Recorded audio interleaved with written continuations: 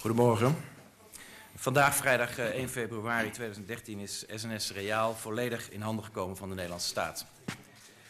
Ik heb SNS eh, Reaal op basis van de interventiewet genationaliseerd.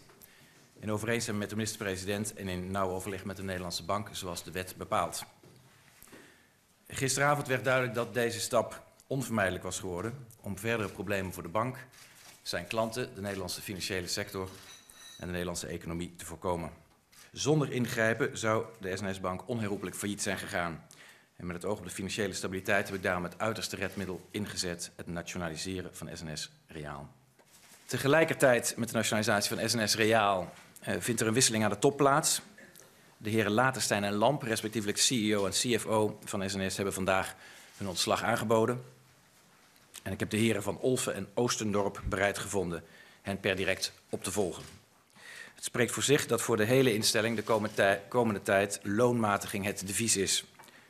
De nieuwe bestuursvoorzitter gaat minder verdienen dan zijn voorganger en bonussen voor de bestuursleden waren en zijn niet aan de orde. Het nieuwe management heeft de opdracht om zodra het bedrijf is gestabiliseerd en de markt het toelaat, onderdelen weer in private handen te brengen, bijvoorbeeld door verkoop. Ik kan mij goed verplaatsen in de weerstand die velen zullen voelen, omdat er opnieuw een groot bedrag aan publiek geld nodig is om een bank te redden. En dat terwijl we toch al een financieel en economisch zware tijd doormaken. Ja, verslaggever Eva Wissing is in Den Haag bij het ministerie van Financiën. Even, ja, het was blijkbaar acuut hè, voor SNS. Ja, uiteindelijk is het een acute situatie geworden omdat spaarders bleken hun geld weg te halen van de spaarrekeningen van SNS en alle banken die bij SNS horen, ASN, uh, Regiobank. Uh, en dat komt door al die berichten die al in de pers verschenen over de situatie bij SNS. Maar wat deze redding zo bijzonder maakt is dat hij zo'n enorm lange aanloop heeft. Vandaag blijkt dat DNB, de toezichthouder op de banken, al sinds juni 2008 speciaal toezicht had uh, uitoefend op SNS. SNS. En uh, dat er al sinds december 2011, dus dat is meer dan een jaar, gezocht wordt naar een mogelijkheid om deze bank te redden. Nou, en dat hebben we bij die andere nationalisaties van ABN AMRO en Fortis helemaal niet gezien. Dat was echt heel snel binnen een dag uh, uiteindelijk moest dat afgehamerd en geregeld worden. Ja, ook anders dan bij die andere nationalisaties. Uh, de andere banken en aandeelhouders moeten het min of meer mee betalen.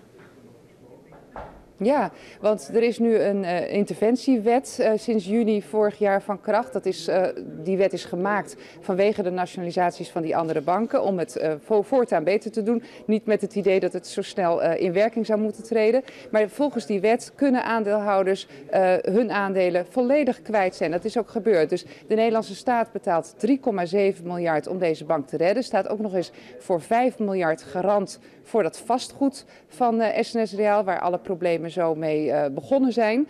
Uh, maar daarnaast de aandeelhouders, het aandeel was uh, al heel weinig waard. Maar goed, het was nog altijd in totaal iets van 2, 250 miljoen euro waard. Ook de achtergestelde obligatiehouders, dat zijn beleggers die leningen geven aan SNS met het idee dat ze achteraan de rij staan als SNS failliet zou gaan. Maar bij nationalisatie zijn zij tot nu toe altijd buiten de boot gebleven. Hoefden ze niet mee te betalen. Dat moeten zij nu ook doen. En wat opvallend is dat ook de andere banken in in Nederland 1 miljard euro moeten betalen. Die krijgen een soort uh, accept girokaart uh, thuisgestuurd. Een belasting die ze moeten betalen om mee te betalen aan de redding. Want, redeneert de minister, als uh, eh, SNS failliet was gegaan, dan waren ze nog veel meer kwijt. SNS heeft iets van 32 miljard aan spaargeld op de rekening staan. En zij, de andere banken, zijn verantwoordelijk voor dat depositogarantiestelsel, die 100.000 euro die elke spaarder maximaal terugkrijgt als een bank failliet gaat. Daar is nu dus geen sprake van, want de bank is gered door de Nederlandse staat en al het geld is gegarandeerd.